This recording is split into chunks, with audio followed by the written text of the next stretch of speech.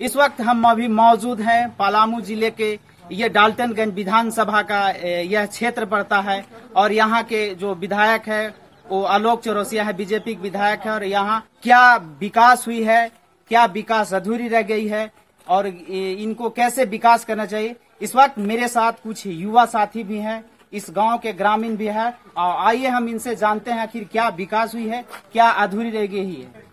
भैया, सबसे पहले आपको स्वागत है। क्या विकास हुई है? कुछ विकास नहीं हुआ क्या विकास हुआ है यहाँ पे? जो पहले से था वो अभी अभी ये है वही है। आगे कुछ विकास नहीं हुआ है। ये कौन सा विधानसभा है? ये डाल्टनगंज विधानसभा। विधायक यहाँ के कौन? चौरसिया। क्या है। यहाँ की विकास क्या हुई है? रोड नली गली सड़क? कुछ नहीं हुआ दस साल में कभी वो यहाँ पैर नहीं रखा। है और ये दोबारा चुनने के लायक नहीं है। ऐसे में आप युवा हैं और आप युवा हैं ऐसे में आपको रोज़गार के क्षेत्र में क्या रोज़गार की क्या कुछ उन्नति हुई है? कुछ नहीं हुआ है। जो पहले से था वो भी है। तो ऐसे में अभी लोकसभा का जो चुनाव हुआ कुछ दिन बाद अभी विधानसभा का चुनाव है इस, तो इस बार आप किन पार्टी को किन मुद्दों को लेकर के आप वोट करेंगे? आलोक कुमार चौरसिया के तो एक वोट पहले मिलेगा ही नहीं। क्यों? क्या आपको कोई विशेष लाभ नहीं मिला है? कोई लाभ नहीं मिला है। यहाँ पे नली गली सब रोड देखा बुझा रहा है आदमी चल जाएगा उसमें तपा जाएगा पता इस बार आप मतदान करेंगे किन किन मुद्दे को लेकर के आपकी मुद्दे क्या रहेंगे? ऐसे में जनप्रतिनिधि बनने के लिए लोग क्षेत्र का विज़िट कर रहे हैं। ऐसे में इस, इस बार आप किन मुद्दों को लेकर के वोट देंगे? तो वक्त आने पर बताया जाएगा किनको वोट दिया जाएगा और लोग किस पार्टी को आप देखते हैं? किस पार्टी को? कांग्रेस जेएमएम या आरजेडी या फिर बीजेपी? अभी कुछ कहा नहीं जा सकता। है लोगों का विचार जैसे होगा। और लोग है उसको बताएगा उसी बीजेपी छोड़ के किसी को मेरे साथ और भी लोग हैं और इनसे हम जानने की कोशिश करेंगे। दादा इस बार क्या क्या लगता है इस बार आप किस किन पार्टी को पार्टी को किन मुद्दों को लेकर बीजेपी छोड़ के किसी को कोई देने कोई एतराज़ है बीजेपी वाले इतना घटिया काम करते हैं अभी आप डालते से आए होंगे ना? देखे होंगे रोड कितना हम लोग तीन तीन फीट गाढ़ा में चलते हैं।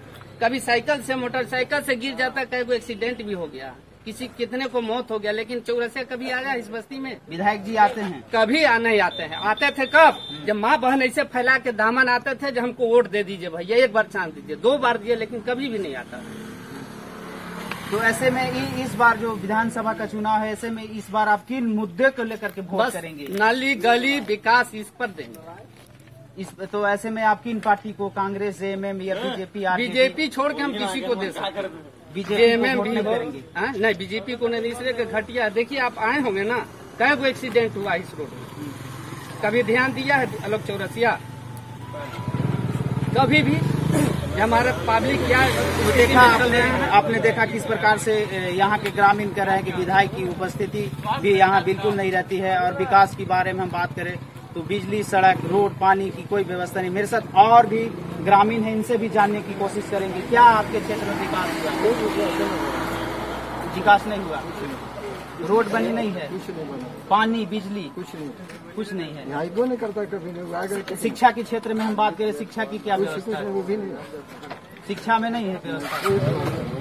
उसको पता ही नहीं कहाँ है। इस बार वोट होने जा रहा है। आप किन मुद्दों को लेकर के किन पार्टी को वोट करेंगे? इसको छोड़ा के किसी को दे देंगे बस बीजेपी के छोड़ा के। बीजेपी नहीं। देना क्या मुद्दे रहेंगे आपके वोट को लेकर? जो अच्छा काम कर रहे हैं उसी को देंगे। ऐसे में किन पार्टी को वोट देंगे आप बीजेपी होगा अभी- आगे जा रहा है। अभी नहीं कुछ कहेंगे मेरे साथ और भी लोग हैं हम इनसे भी जानने की कोशिश करेंगे कि क्या विकास हुई है क्या विकास हुई है। कोई विकास नहीं है न रोड बना न पढ़ाई के शिक्षा में कुछ है कोई चीज़ के ध्यान लोग की से नहीं दिया है। उसके छोड़ा के हम लोग किसी को वोट दे सकते हैं बीजेपी वाले को। वोट नहीं देंगे विकास को लेकर के वोट करेंगे। हाँ, विकास जो करेगा उसी के देंगे मेरे साथ और भी लोग हैं। जी मेरा नाम भैया नमस्कार। मेरा नाम राजेश सिंह है।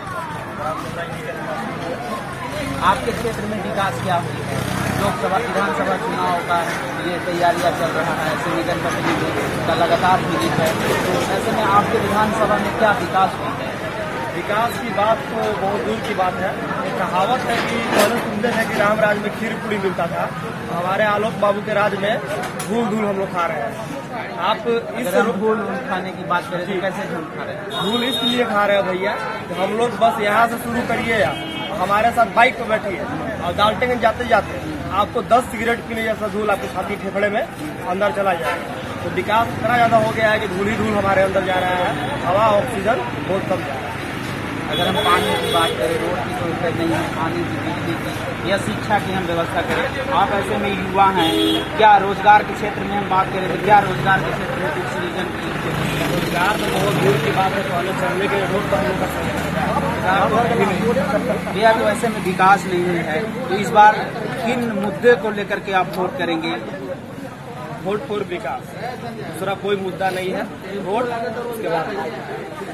हमारा रोड नहीं वोट हम लोग यही प्रोपोगंडा चल रहा है। हमारे गाँव के सारे मतदाता सारे मतदाता मतदाता लोग हैं लोगों का बस यही प्रोपोगंडा चल रहा है कि रोड नहीं।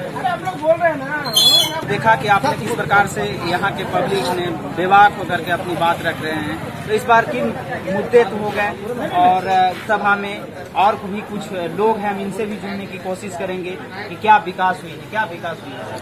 विकास क्या कहा जाए? रोड तो प्रॉब्लम नहीं ये है। अब हम लोग तो उस दिन को याद कर रहे हैं कि कहाँ है जो काला धन लाने के लिए मोदी सरकार ने कहा था। आज तक काला धन वापस नहीं लाया। महिलाओं को पंद्रह पंद्रह, सभी लोगों को पंद्रह पंद्रह लाख खाते में डालने के लिए कहा था। वो पंद्रह लाख कहाँ है? आज वोट के बाद किस किस तरह से वो करेगा? सर, उससे मर जाना चाहिए बीजेपी वालों को, भारतीय जनता पार्टी को। समझ गए? यहाँ तो विकास देखने के लिए मिल ही नहीं रहा एक भी। रोड है ये नहीं है, बिजली का वही प्रॉब्लम है। और क्या कहें शिक्षा के लिए तो कुछ समझ में नहीं आता है कि हमारे लोग, बच्चे स्कूल दूर है। डाल्टनगंज पढ़ने जाते हैं कॉलेज में जाते हैं लेकिन कॉलेज में जाने के लिए रोज का रोज धूल खा रहे हैं। बच्चे परेशान हैं हमारे सबके हमारे ग्रामीण परेशान हैं। वोट लेने के लिए किस मुँह से आएगा यहाँ भारतीय जनता पार्टी के लिए? किन मुद्दों को लेकर के वोट करेंगे? हम लोग जो अच्छा विकास करेगा उसको वोट देंगे जो अच्छा विकास करने के लिए हम लोग से वादा करेगा। वादा तो बहुत लोग आते हैं वादा करते हैं लेकिन वादा निभा नहीं पाते हैं। लेकिन हम लोग को जो अच्छा कार्य के लिए अच्छा नेता मिलेगा उसी को विकास को वोट देंगे। किन पार्टी को किस पार्टी को देते हैं आप आरजेडी बीजेपी या कांग्रेस एएमएम हम तो झारखंड मुक्ति मोर्चा के से हैं झारखंड मुक्ति मोर्चा की वोट कर देंगे झारखंड मुक्ति मोर्चा क्यों आखिर उनको क्यों क्यों वोट करेंगे? सरकार तो उनकी है सर, सरकार उनकी है अभी देख रहे हैं हमारा मैया समान योजना आया है। हर महिलाओं को या किसी भी वर्ग के महिला हो, हर महिला को एक एक हज़ार रुपया मंथली देने के लिए काम कर रहा है। इस ऐसा सरकार जो हमारे राज्य में अच्छा विकास कर रहा है, हमारे हम सबके लिए चल रहा है, उसके वोट नहीं देंगे तो और किसको वोट देंगे? ये झूठा संतावना देने वाले प्रत्याशी को थोड़े वोट देंगे, जो वोट लेने के लिए आते हैं, इसके बाद फिर शकल नहीं दिखाते हैं। ऐसे प्रत्याशी को हम वोट कतई नहीं देंगे। भैया इस बार आप क्या किन पार्टी को वोट करेंगे? बीजेपी जेएमएम को जाएगा।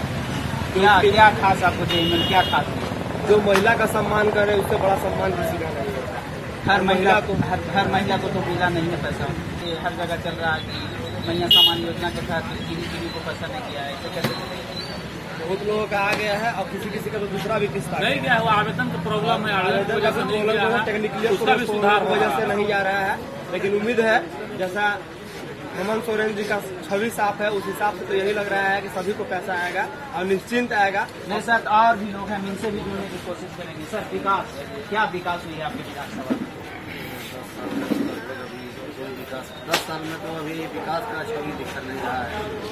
जो हमारे अभी विधानसभा का जो प्रत्याशी है लोकसभा चौधरी बोलते हैं कि काम किए कुछ काम नहीं हुआ इनका दस वर्ष का कार्यकाल रहा, क्या विकास हुई दस वर्ष में भी कोई विकास नहीं। कोई विकास नहीं। अभी रोड का स्थिति देखिए चैनपुर से दो दो फीट गड्ढा बना हुआ है। वोट वोट इस बार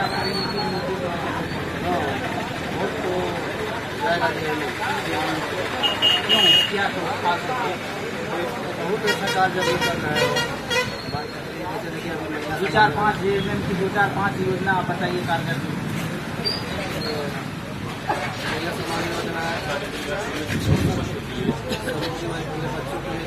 निकाले गाड़ी योजना है। ग्राम गाड़ी मुख्यमंत्री योजना जो बस चलती है। बहुत ऐसा योजना है जो बिजली हैं। आपके क्षेत्र में विकास विकास तो हुई विकास नहीं हुई। विकास हैं, तो रोज़गार के बारे में बात करें तो क्या रोज़गार? रोज़गार हम लोग विकास पर छोड़ देंगे। विकास जो वादा हम लोग से करेंगे विकास करेंगे रोड बनाएँगे हैं इसके थ्रू हम लोग जाएँगे।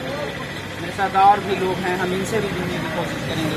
सर वोट वोट को कैसे आप देखते हैं? क्या हैं? वोट जो विकास करेगा उसी को वोट देना है। समझ गए जैसे में हमारे हेमंत सरकार देखिए कि रोज़गार के लिए पाँच साल से पाँच लाख से लेकर के पच्चीस लाख तक के सहायता राशि दे रहे हैं और मैया सम्मान योजना के लिए दे रहे हैं पैसा सभी महिलाओं के लिए।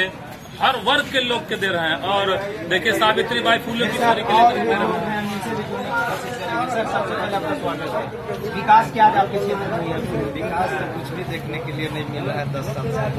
जब से बीजेपी के विधायक कुमार चौरसिया जी आए हैं तब से विकास तो दूर की बात है।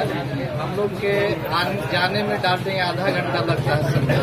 इतनी रोड खराब। दूरी है आपके यहाँ से सात किलो सात किलोमीटर है यहाँ से लेकिन आधा घंटा समय लग रहा है जबकि मेरा नाम मोहम्मद कासिम अंसारी है। इस बार वोट वोट वोट किस मुद्दे को लेकर के करेंगे? इस बार विकास के मुद्दे पर वोट होगा। जो क्षेत्र में रहेगा जनता के काम करेगा जैसे हमारे क्षेत्र के माननीय पूर्व माननीय केंद्र त्रिपाठी जी हैं उनको हम लोग सोच रहे हैं इसलिए पहले भी देख चुके हैं बहुत बेहतरीन काम किए हैं और उन्हीं के काम किया हुआ अभी तक है।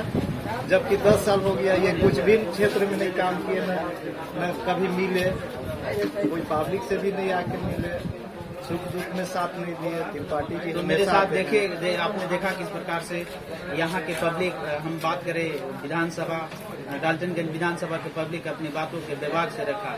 कैमरा पर्सन सहयोगी राहुल के साथ मिथिलेश यादव रफ्तार मीडिया पलामू।